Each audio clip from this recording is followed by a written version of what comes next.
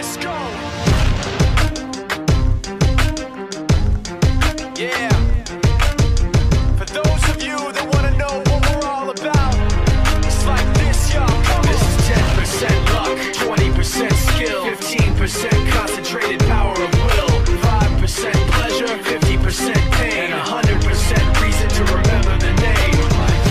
He doesn't need his name up in lights, he just wants to be heard, whether it's the beat of the mic. He feels so unlike everybody else alone, in spite of the fact that some people still think that they know him, but fuck him, he knows the code. It's not about the salary, it's all about reality and making some noise, making a story, making sure his click stays up. That means when he puts it down, Tox picking it up. Let's go. Who the hell is he anyway? He never really talks much, never concerned with status, but still leaving him starstruck. Humble through opportunities given despite the fact that many misjudge him because he makes a living from writing raps. Put it together himself, got a picture connects, never asking for someone's help or to get some respect. He's only focused on what he wrote, his will is beyond reach, and now it all unfolds This is 20% skill, 80% fear, be 100% clear, cause Ryu was ill. Who would've thought he'd be the one that set the West in flames? And I heard him wreck it with the crystal method, name of the game. Came back, dropped Megadeth, took him to church. I like Bleach, man. Ryu had the stupidest verse, this dude is the truth. Now everybody giving them guest spots and stocks through the roof. I heard he fucking with that This is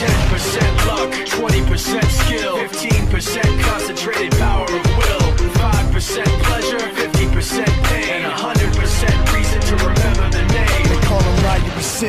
spitting fire and Mike got him out the dryer, he's hot. Found him in Fort Minor with top, but a fucking nihilist porcupine. He's a prick, he's a cock. The type women wanna be within rappers, hope he gets shot. Eight years in the making, patiently waiting to blow. Now the record with notice taking over the globe. He's got a partner in crime, his shit is equally dope. You won't believe the kind of shit that comes out of this kid's throat. top.